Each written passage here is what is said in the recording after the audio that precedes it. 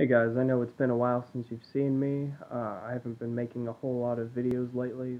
Well, one out of disinterest, and two, I just have other priorities going on in my life. But anyway, I read the news yesterday, oh boy, and um, just uh, broke up. I'm sure you guys know that by now. But I wanted to make this video to discuss my thoughts on them because um, these guys were basically one of the bands this was basically like my gateway band to uh, black metal music, the same way Opeth was my gateway band to death metal music. I mean, of course I knew about the genres before, but Opeth is what got me immersed into death metal. Agalloch is what got me immersed into black metal. So, of course, I have to make a video about this because they've played such an influential role in shaping my musical tastes and, well, the type of music that I make. I make a lot of acoustic work, and Agalloch is definitely uh, a key uh, player in like the kind of sound that I produce for my music. But anyway, um, I'm still kind of processing this news. I mean, this is all very unexpected. Just like a few days ago, I was like, oh yeah, Agalloch's doing perfectly a-okay. Nothing's going on. They're all just active as usual. But then yesterday, boom, you see the news on Facebook. Oh, yeah, we're we're done now. So, yeah, I'm still kind of processing this right now. I have a bit of a mixed response. I have like different feelings in regards to the situation. Um, like one, uh, for one, I'm I'm a little disheartened because Agalloch um, has made some of the best music I've ever heard. You hear classics such as um, The Mantle, which is, of course, my all time favorite album, period, like ever. And you've got other great works like Pale Folklore, Ashes Against the Grain, The White EP, the of, of Stone, Wind, and Pillor EP, Faustian Echoes, Marrow the Spirit. And uh, yeah, like just hearing all those albums and just um, when you just see a band like Agalloch like release those works and then decide we're done now.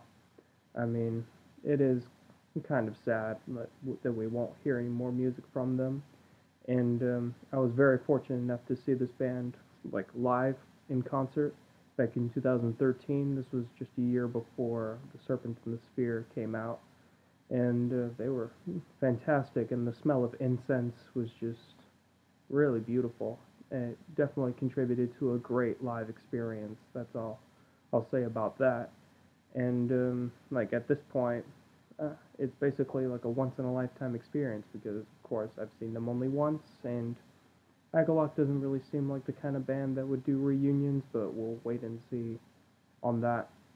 And also, I have another mixed emotion. Like, I, I mean, I think this is this may be for the best because, uh, I mean, while Serpent and the Sphere wasn't a bad album, I felt like it was a bit of a decline um, compared to their earlier works, and I think it's best to quit whenever you're basically on like a good step, whenever you have your best uh, foot forward.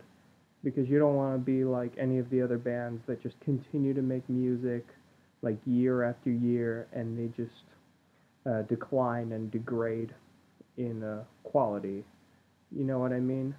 So kind of like Queensryche, who uh, like they released great works like Operation Mindcrime and Empire, and then a few years later they uh, just slowly declined with every album release. Although they did have a Shining White Knight with Todd La Torre, and he kind of saved the day. But I digress. I think you get what I mean, right? I think it's best to like end whenever you have nothing but good albums than to just continue to keep on going and you just have more bad albums than good and people just lose their interest. So I think it's best for Agalloch to leave right now whenever they have like a huge rabid cult following than for uh, than whenever like people just lose interest in them because they release bad works, which they haven't, of course. But yeah, uh, that's what I'm trying to say regarding that. So anyway, I I just wanted to say like thank you very much, uh, John, Don, Aesop, and the boys.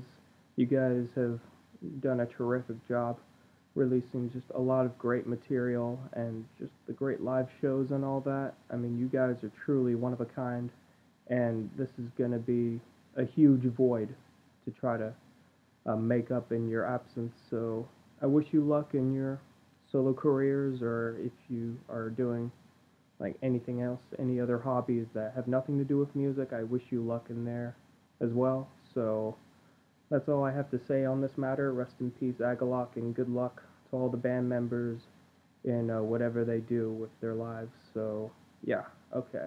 Thank you very much, and I'll see you next time. Take care.